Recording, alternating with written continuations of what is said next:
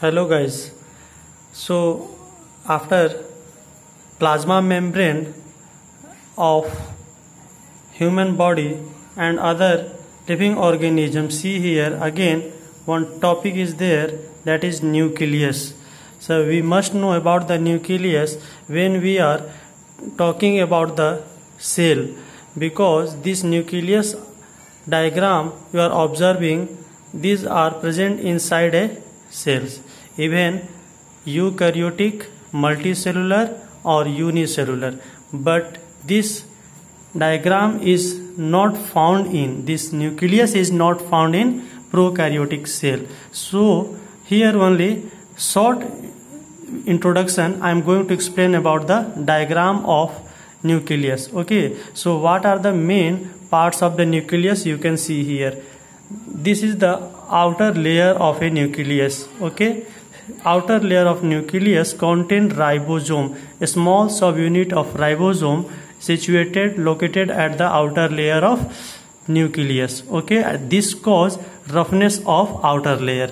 And because of roughness its name again came rough endoplasmic reticulum. Because of this it is called as rough endoplasmic reticulum.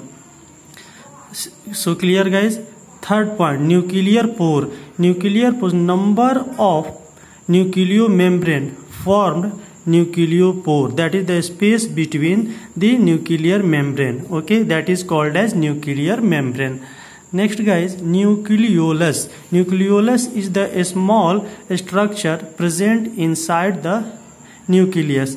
Nucleolus contain genetic material dna and rna finally which help in formation of protein one more thing enzyme also present guys here for your kind reference okay? Enzyme also found inside the nucleolus.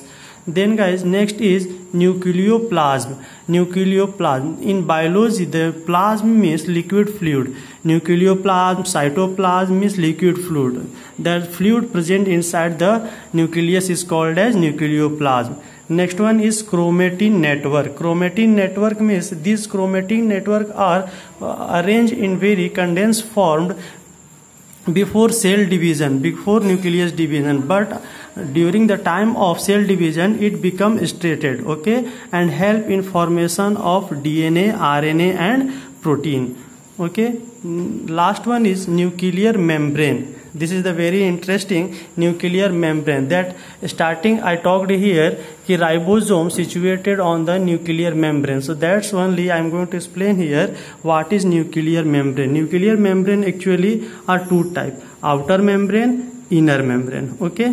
Outer membrane are mostly rough because of ribosome whereas inner membrane do not contain ribosome that's why it is mostly smooth. So based on roughness and smoothness endoplasmic reticulums formed here uh, SER form smooth endoplasmic reticulum and here RER for ribosomal situation. That is depend upon the nuclear envelope nuclear membrane structure. Thank you guys. Again i will share the next video related to the endoplasmic reticulum. If you like this video please subscribe my channel and comments